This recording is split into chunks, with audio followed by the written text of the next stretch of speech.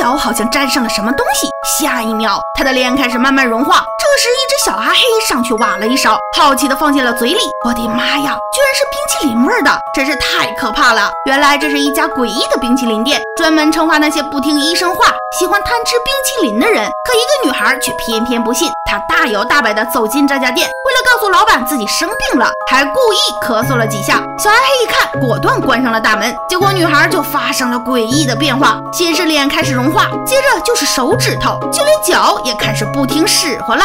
下一秒，女孩直接就变成了一滩烂泥，而旁边的人却一点不害怕，反而异常的兴奋。来这种事已经不是第一次了。小二黑赶紧上去挖了一勺，就放进了嘴里。他想尝尝这次是什么味道的，该怎么标价售卖才好。就在他沉浸快乐时，女孩开始更加快速的融化。不到一分钟的时间，女孩就只剩下了一对假牙套。随后，小二黑又拿出了自己家祖传的抹布，左三圈右三圈的擦完后，就把它们拧进了垃圾桶里。我的妈呀，这谁敢吃呀？可他却自信满满的开始寻找下一个目标了。小男孩而不小心打翻了一瓶神秘液体，结果手上的温度居然达到了三千度。他撸铁，铁会瞬间融化；摸鸡蛋，鸡蛋也会瞬间变熟；就连桌子也会被他烫出大洞。小男孩被吓坏了，于是赶紧把手放进水池里，但水却一秒就干了。于是他又想到了冰，本以为这样肯定会降温，但他去拿纸，纸又突然燃了起来。这可怎么办？他今天必须要做一块大蛋糕，因为今天是爸爸的生日。但痴迷实验的爸爸却根本不在意，他把自己实验失败的药水贴上标签，就放到了柜子上，根本没有注意到儿子的礼物。但小男孩并没有失望，他决定为爸爸做一个大大的生日蛋糕。可就在挂派对条幅时，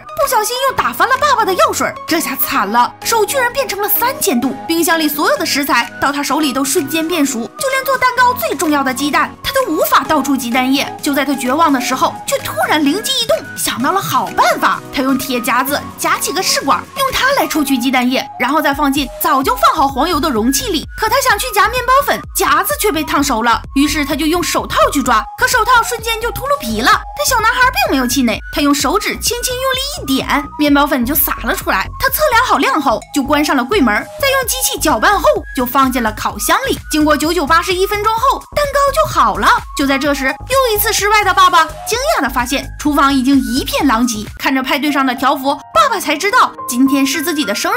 他很后悔自己没用更多的时间来陪伴孩子，幸好没有酿成更大的危险。所以，请不要忽略孩子对爱的感受，因为陪伴才是父母给孩子最好的爱。一个七旬老太太在山上发现了个巨大的金矿，可警察阿伟却说那是黄铁，因为长得很像金子，有很多人被骗。老太太信以为真，可阿伟一下山就匆忙的打了个电话，不一会儿几个人就拿着探测仪上了山，机器在黄金上一点一点探测，几个人也都表情凝重，大气都不敢喘。很快结果就出来了，确实是金子，而且纯度九百九十九点九，极品中的极品，满满一山呀！几个人瞬间开始幻想挤进富豪榜，突然老。太太就出现在他们身后，老太太听到了他们的谈话，大骂他们不要脸，还想骗自己，那明明是金子。阿伟很不屑地说：“这金矿不是你家的，你管得着吗？”老太太听后怒了，原来他的儿子被骗买了这座山，欠了巨债，自杀了，儿媳也因为不堪重负吊死在这里。现在这座山就是老太太的命根子，你们还想挖走？这不是欺负老实人吗？老太太扭头就要去报警，一行人赶忙上前阻拦。这时一个人不小心碰到了探测仪，巨大的响声吓坏了。所有人，老太太被意外推下了山崖，几个人赶忙追了下去，幸好老太太还活着。几个人商量要送往医院，可巨大的金矿摆在眼前，被人知道就前功尽弃。于是几个人被贪欲战胜，选择灭口。他们死死地掐住老太太，但他们不知道的是，这一幕正好被一个猎人老乔发现。老乔举枪想要救老太太，突然。一阵喊声响彻峡谷，那正是老太太智障的孙女。老乔迅速拿望远镜确定了女孩的位置，并迅速的跑了过去。他知道，如果让恶人抓住女孩，必死。而几个恶人也都各使眼色，围了过去。好在老乔快了一步，找到了女孩。突然，阿伟就出现在了高处，几个恶人也瞬间围了上来。凶多吉少了。老乔立马端起枪，手指已经箭在弦上。突然传来了老太太的呼救声，阿伟趁机架起了老乔的枪，女孩也上前拼命的拽。突然一声枪响，原来枪走火，打。中一人。老乔拉起女孩，趁乱逃跑。森林里，一个猎人拉着一个女孩，正在拼命的逃亡，后面竟是几个杀人不眨眼的恶徒在猎杀他们。猎人很熟悉这里的环境，带着女孩躲进了树丛里，然后拿出纸笔写上字，让女孩去山下找警察，自己一个人去引开恶徒。恶徒们果然中计了，他又一次利用自己熟悉地形，躲进了树丛里。可他忘记阿伟是警察，终究低估了对手。老乔被抓住了，有刑侦经验的阿伟命人反方向追杀女孩。很快，女孩被发现，一声声枪响响彻峡谷。女孩不停地跑，这边老乔被枪声惊醒，嘴巴不停地动。一个恶人以为他要说什么，老乔直接砸晕了他，拿起枪就顺着枪声追了过去。突然一声枪响，打中了女孩，可女孩又站起来了。原来是子弹打偏了，可恶徒们已经就在身后。智障女孩根本不知道什么是危险，他们举起枪准备和女孩告别，刚要开枪。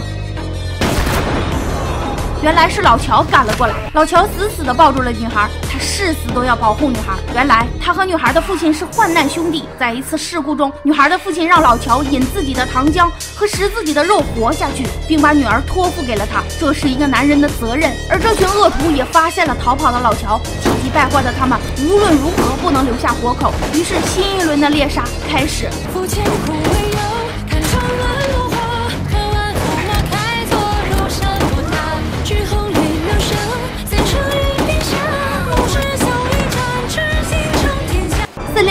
老猎人带着一个女孩拼命的逃亡，后面是几个气急败坏的恶徒，因为一个金矿要杀人灭口，两个人一直逃到晚上。这时下起了大雨，突然强光闪过，恶徒们追了上来，并一枪打中了老乔。这让女孩被吓坏了，冲了出去，被阿伟一枪打倒。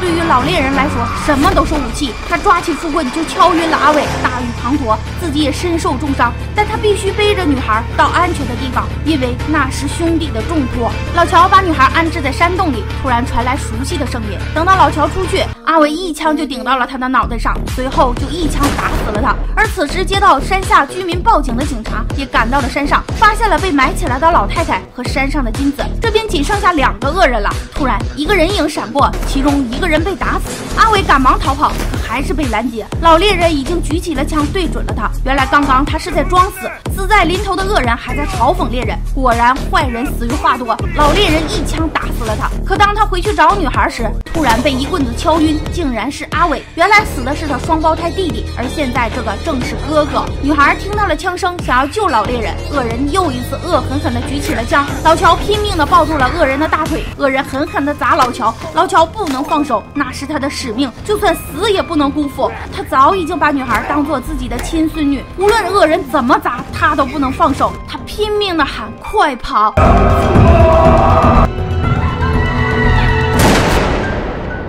气急败坏的恶人拿起了枪，突然一枪。原来是警察赶来，恶人被乱枪打死。奄奄一息的老人看着安全的女孩，终于闭上了眼睛。他终于倾尽了所有，换来了女孩的平安，也不负兄弟的重托。衔环结草，以德报恩。这只小狗太可怜了，第一天和主人见面，就因为残疾被小主人嫌弃，但狗狗并没有在意，还是爬了起来，再一次奔向主人，却被主人一脚踢飞。其实小主人并不是讨厌它。而是因为他也失去了一条腿，他不仅整天躲在家里打游戏，还把窗帘都关上了，生怕被别人看见。他将一切的希望都寄托在虚幻的游戏里。直到这天，妈妈送给了他一份特殊的礼物，打开一看，居然是一只小狗。狗狗很可爱，但小主人却烦透了它，因为它也天生残疾。这时，狗狗发现了只小红球，它想去捡，却重重的撞倒在桌子上。小主人一看，更嫌弃它了，所以狗狗邀请它和自己玩球时，它一脚就把球踢。进了箱子里，狗狗天真的以为这就是在和自己玩。虽然身体不灵便，但狗狗从来没有放弃快乐。它跌倒了就爬起来，又跌倒又爬起来。小男孩总觉得不可思议，直到狗狗跳进了箱子里，可箱子却把狗狗困在了里面。这可把小主人乐坏了。好不容易摆脱了箱子，小球却不见了。但狗狗的精神已经感染了小男孩，他也想尝试这种快乐。所以当狗狗再次邀请小主人来一起玩时，男孩勇敢地拿起了球，决定像狗狗一样。勇敢一次，他将小球揣进了兜里，又相互合作打开了那扇门。这是小男孩第一次走出家门。所以，你如果不被困难打败，那么良好乐观的心态就可以治愈一切。你在乎的永远不应该是别人的眼光，而是自己怎么看待自己。如果你被困在电梯里，该怎么办呢？这个秃头男人刚上电梯，就跟进了一个疯癫的黄毛。看装扮还有点不太正常。秃头刚瞅了他一眼，结果电梯不仅剧烈晃动，还停在了原地。难道电梯坏了？没错，这时黄毛看了一眼时间，居然毫不慌张，还一屁股坐在了凳子上，吃起了点心。黄毛大方的分享给秃头食物，秃头却根本不想吃，因为他很慌。但更糟糕的是，突然电梯又停电了。没办法，秃头只能拿出了自己的小夜灯。黄毛一看，也拿出了自己的小装饰，还将电梯打扮了一下。既然怎么都出不去，还不如理性对待。于是两个人把自己的东西都拿出来装扮了下，居然有很多椅子。原来他们一个是出门买圣诞装备的，一个是不满意工作炒了老板鱿鱼的。秃头焦躁的心也终于被快乐的黄毛感染，两个人居然还玩起了牌，又分享了各自的食物，甚至喝起了酒，仿佛早就认识一样，完全没有被困在电梯里的感觉。吃饱喝足后，秃头还玩起了浪漫，一个抱枕怼吧怼吧就变成了装饰，格调还真是别有洞天。黄毛将自己的圣诞礼物送给了他，居然是一个纸糊的爱心，哈哈哈哈！但秃头还是十分感谢他。生活本来就是这样，既然改变不了事实，那就改变自己的心态，积极的面对，可以解决一切困难。